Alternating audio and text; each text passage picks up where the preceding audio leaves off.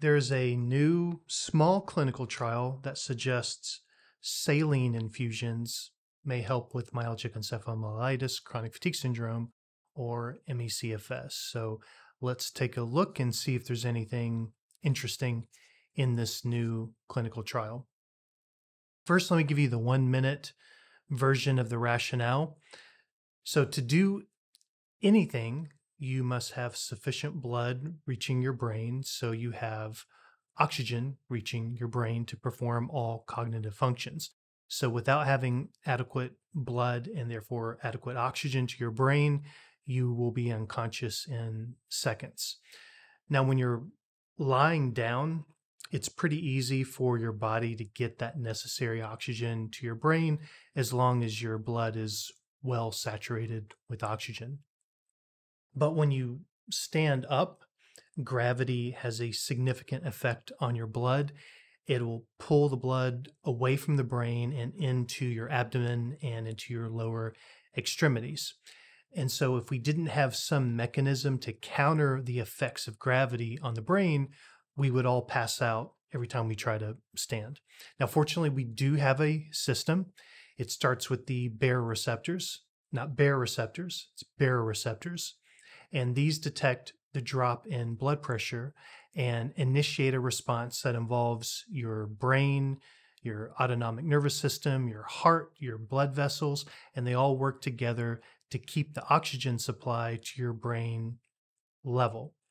And then other systems take over if you're standing for longer periods of time. But if you have a problem with one part of this compensatory system, you may have insufficient blood and insufficient oxygen reaching your brain when you change posture. And then your symptoms are going to be created or exacerbated, things like fainting, uh, dizziness, cognitive issues, fatigue, anxiety, muscle weakness, and there's there's like a couple dozen more possible symptoms. All right, so here comes the saline infusion. All right, saline is put into your body with an intravenous catheter or an IV catheter. And by putting that saline into your body, you increase your blood volume, and that hopefully allows your heart to be more efficient at pumping the blood to your brain and getting the oxygen to your brain, thereby reducing the symptoms. So I wouldn't expect this treatment procedure to work on all ME/CFS sufferers. It would help those in particular who have some kind of problem with posture. So they may have um, postural orthostatic tachycardia syndrome or POTS, um, may have orthostatic hypotension, which is a drop of blood pressure when you stand, or maybe hypovolemia, which is insufficient blood volume. All right. So, so again, I don't think most ME/CFS patients fit one of these three conditions, but a lot of them do. So it is relevant to talk about. All right, let's see what this group did. So the paper I'm showing you right now, uh, it is called Beneficial Effects of Intermittent Intravenous Saline Infusion in Dysautonomic Patients with Myalgic Encephalomyelitis, Chronic Fatigue Syndrome, a case series. All right, this is an open access paper, so you can grab it yourself. The link is in the video description, and this was conducted by a Swedish uh, medical research group. Now, they did saline infusions every three weeks for nine weeks. So the participants got three different treatments, again, separated by three weeks. Now, the study didn't have a placebo or a sham, so everyone knew that they were getting the active treatment, which again is saline. Uh, they infused an average of 1,600 milliliters of saline per treatment. And that's, I mean, that's basically what what the treatment is. You put in the IV needle, you slowly infuse the saline, and and that's it.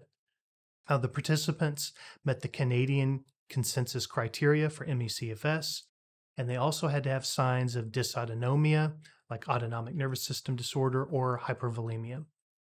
Now, they enrolled 40 people, but 18 of those people stopped early because they had an issue attending all the sessions. And that leaves 22 participants. And that's a pretty small sample size. Um, we'll talk about that in a little bit. Now, they did a table tilt test, which is a standard test for orthostatic intolerance. And then they also gave a questionnaire of symptoms like brain fog and pain and dizziness and all the things I mentioned before. And they took the scores from all of those questions and they calculated kind of an overall composite severity score. Now, I didn't see a reference for this score, so I think they created this process themselves. It, it was a research team kind of in house score. Uh, I might have missed it, but I didn't see a reference. So I'm not sure if the score they're using is an accurate way to determine overall severity.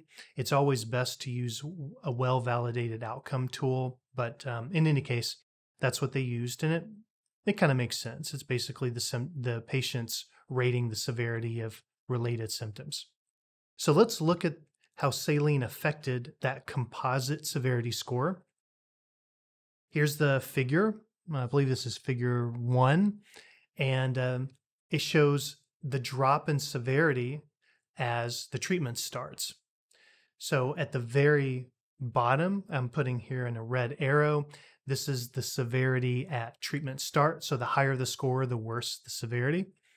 Then we see the reduction of severity at three weeks. Then we see a very slight reduction at six weeks. And then we see a further reduction at 10 weeks. The overall reduction from start to finish kind of eyeballing it is around 28%. And so a 28% reduction of severity. And it was statistically significant at p less than 0.001. Now, while these graphs, uh, I think these are pretty clear. I think it's uh, they, they look like reasonable and real plots with real data. So I would have liked to have seen what we call a spaghetti plot. I'm showing you an example here. This allows me to see the response of each patient.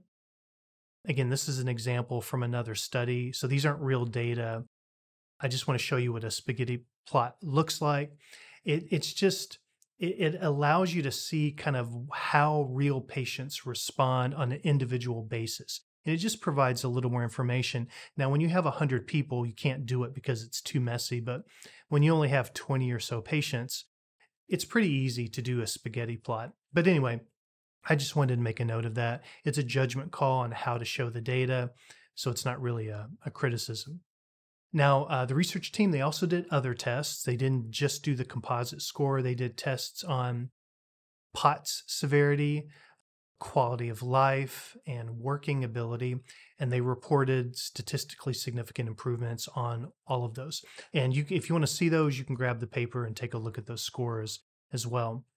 Now, if I read the paper correctly, only one person reported the treatment as actually harming their quality of life.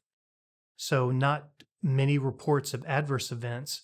But as I mentioned briefly before, 45% of the patients fail to finish the protocol. And that is a significant dropout rate. And that is concerning in any kind of clinical study. This isn't really a clinical trial, it's a case series, but still, you, you would want to have more people get through the whole protocol. So the fact that so many people dropped out, uh, there's a lot of reasons. It could suggest they had some other issues or problems with the treatment.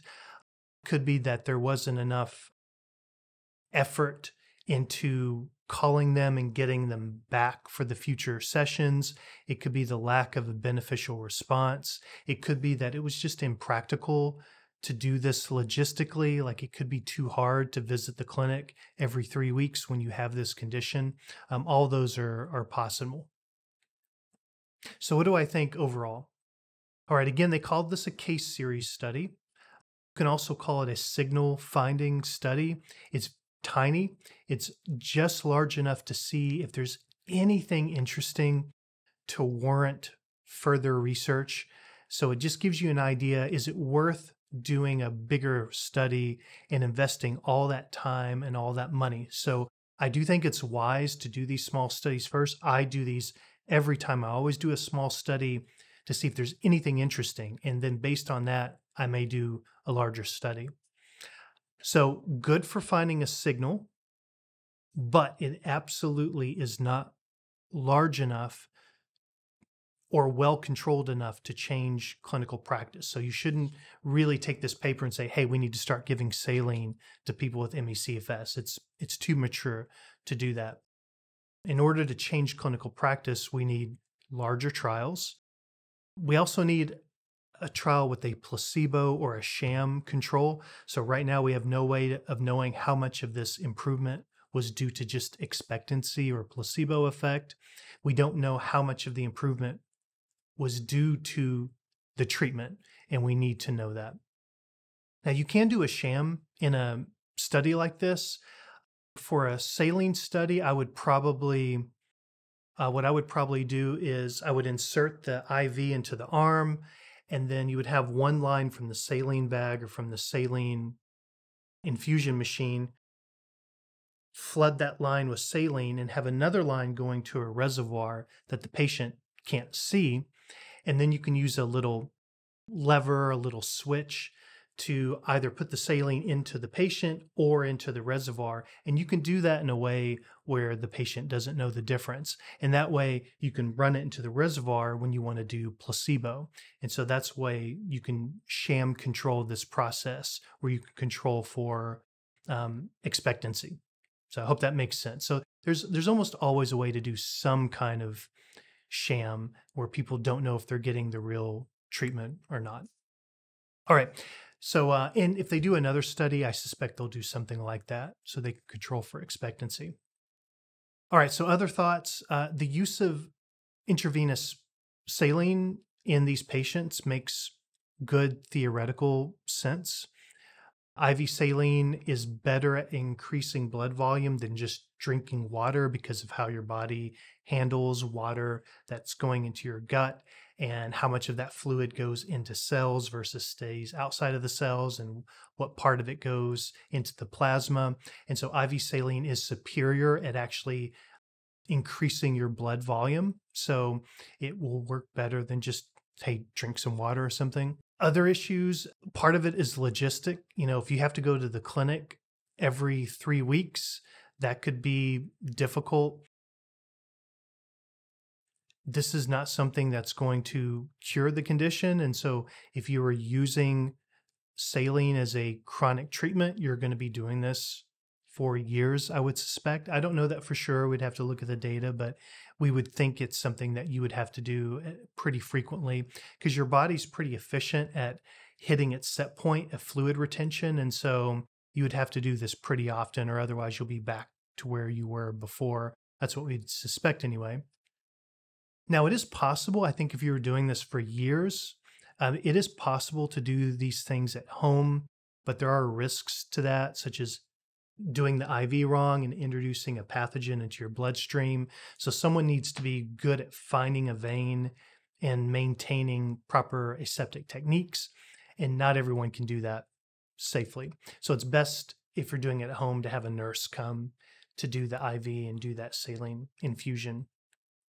So, just based on this study, and there are a couple of older studies, but they're very small. There's never been a big study to my knowledge. But just looking at this new study, I would say, just again, just from a scientific perspective, I would say wait until a larger and placebo controlled study is conducted.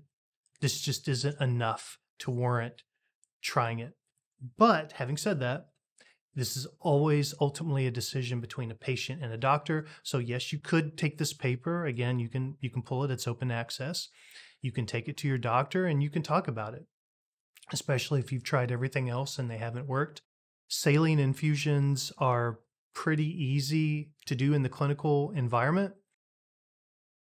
Not that difficult. Your physician may want you to see a dysautonomia expert, and those are usually neurologists because you'll probably have to do some tests to establish that you have orthostatic intolerance because you really need that to justify trying saline. If you don't have any kind of orthostatic intolerance, the saline is very unlikely to help you. Uh, and again, if I if I remember the numbers, most people with ME/CFS do not meet orthostatic intolerance criteria or POTS, but many of them do. So you just have to find out for yourself which is the case with you. So, uh, overall, it's a very interesting, minimally invasive treatment option. Uh, it looks like it can reduce symptom severity in a subset of ME/CFS patients. And I look forward to seeing a larger and a better controlled study. And thank all of you for watching. I hope this uh, information is useful. And uh, I hope you can come back for the future updates.